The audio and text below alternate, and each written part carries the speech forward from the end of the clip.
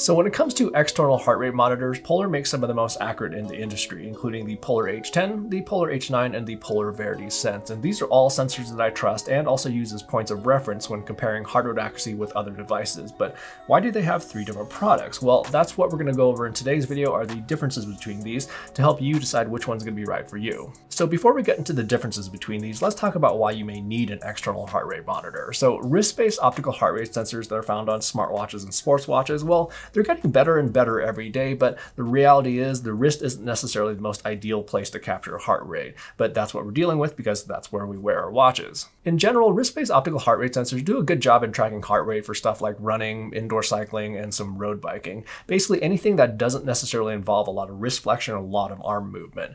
There are ways to get more accurate heart rate from wrist-based optical heart rate sensor, and I actually just made a video on that topic, and I'll have that video linked down in the description below. But there's still certain types of activities that are simply very challenging for wrist-based optical heart rate sensors to track accurately, namely stuff like weight training, high intensity interval training, as well as mountain biking. And that's where an external heart rate monitor comes into play, where these will provide you with the most accurate heart rate, so the training and performance feedback that you're receiving from your watch or fitness app is going to be as meaningful as possible. Okay, so now let's get into the differences between these. So first up, we have two different styles of heart rate monitors. So we have the Polar H10 and the Polar H9, and these are heart rate monitors that are designed to be worn around the chest, and they measure heart rate off of electrical signals from your body, or ECG. And then we have the Polar Verity Sense, and this uses an optical heart rate sensor, which is similar to what you find in a watch. And this shines light through your skin and measures heart rate through blood flow. But even though the Polar Verity Sense uses the same type of sensor that's found in a watch, the advantage that the Verity Sense has is that it's designed to be worn on the arm where there's more flesh for the sensor to work with, and that's where you're going to get more accurate results than the wrist. And then in terms of accuracy, in general, the chest heart rate sensors, the H10 and the H9, these will be the most accurate in pretty much all situations, but there are some scenarios where they may not work quite as well. So there's going to be situations where it's going to be extremely cold out or if the strap is dry. And the Verity Sense is also a very accurate heart rate sensor, but since it's an optical heart rate sensor, there may be a delay in some situations like extremely quick changes in heart rate where your heart rate may not be displayed in real time, where there may be like a one to four second delay with those really quick changes, but still it's a very accurate sensor. And beyond just the difference in the type of technology that these sensors use, there's going to be an issue of comfort as well. So there's going to be plenty of people that don't necessarily want to wear a chest heart rate monitor. And on the other hand, there's going to be plenty of people that don't necessarily want to wear something on the arm. So you have a couple different options there. So now that we've gone over the differences between chest versus arm heart rate monitors, let's talk about the Polar H10 and the Polar H9 in a little bit more detail. So looping back to comfort really quick, the Polar H9 uses their soft strap, and as the name implies, it's a soft, stretchy strap, and the material, it's nice and comfortable. You can adjust the length of it to your liking, and then it also attaches using a hook and loop.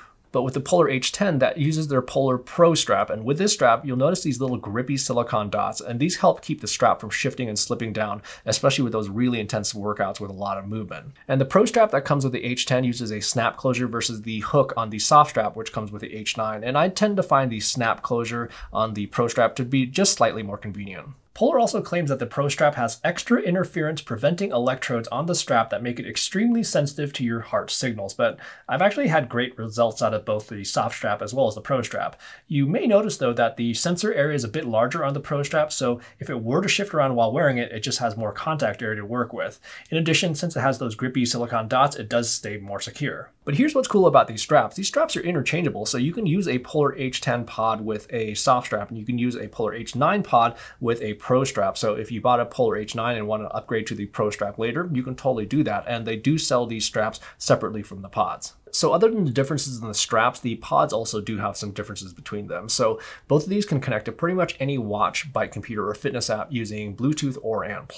In addition, both also can connect to compatible gym equipment using GymLink, which uses a 5 kHz transmission frequency. The main difference here though is that the Polar H10 has two Bluetooth connections where the H9 has one. And I think for most people, one Bluetooth connection should be just fine, but where the two Bluetooth connections does come in handy with the H10 is that let's say you're going to be training on an indoor indoor cycling training platform like Zwift or something like that, where you want to see your heart rate, and you also want to pair your heart rate monitor with your watch that only pairs to Bluetooth external sensors. So examples of this would be stuff like Apple Watches, Polar Watches, the Coros Vertix 2, as well as some other smartwatches. However, where you may not need the two Bluetooth connections is if you have a watch or bike computer that pair to Bluetooth as well as ANT Plus external sensors. So these include devices like Garmin's, uh, Wahoo's bike computers, as well as their rival smartwatch, and previous generation Coros watches like the original Vertix and Apex Pro.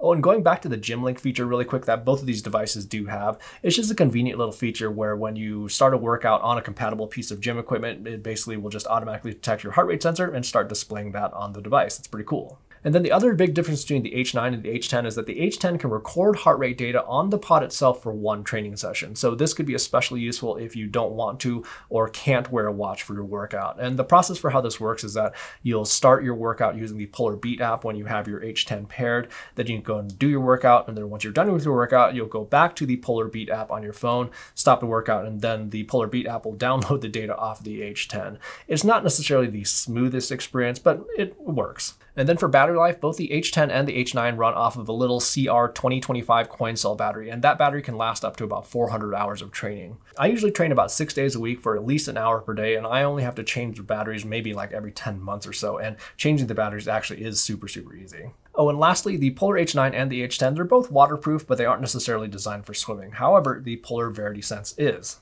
So the Verity Sense is an optical heart rate sensor that shines light through your skin to measure heart rate through blood flow, and it's primarily designed to be worn on the arm. And in terms of comfort, the strap that they use for the Verity Sense is also a nice, comfortable strap and has a little Velcro closure so you can easily take it on or off. So just like the H9 and the H10, the VeritySense can connect to both Bluetooth as well as ANT Plus devices. And similar to the H10, the VeritySense also has two Bluetooth connections. But unlike the H10, it doesn't have the 5 kHz GymLink transmission, so it won't work with those same types of gym equipment. The big difference here, though, with the VeritySense is that it can store up to 600 hours of heart rate data on the pod itself, and it can be multiple sessions. And the process for how you do this is just a lot less cumbersome than the H10. So with the VeritySense, all you have to do to record heart rate without a paired device is you just turn it on and then just press the button again to toggle it into one of the two offline modes, either just a regular recording mode or a dedicated swimming mode. And what's really cool about the Verity Sense with its swimming mode is that it can automatically track laps, distance, and time. So all you do is just make sure that it has the correct pool length specified in the device settings in the Polar Flow app, and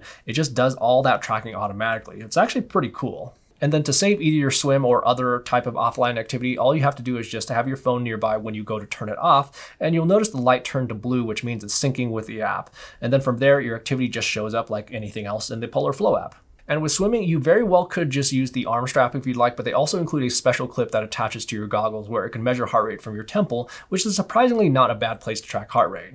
And then for battery life, the Verity Sense can last up to 30 hours, and they include this cute little USB charger where it just snaps into place. And then for pricing, the H9 runs 60 bucks and the H10 and the Verity Sense both run 90 bucks. And I've got some links in the description below where you can pick any of these up if you're interested.